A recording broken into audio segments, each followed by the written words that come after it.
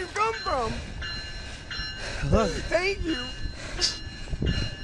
Sean, what's your last Oh name? my God, thank you so much.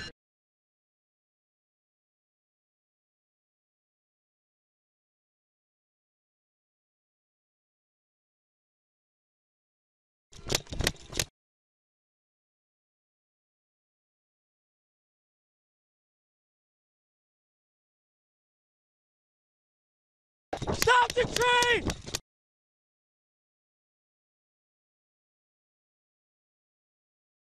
He's not moving. Hey, bud, move! Am I gonna be able to get there? Stop the train! What happens if I don't get there? Buddy, move! What am I gonna do when I get there?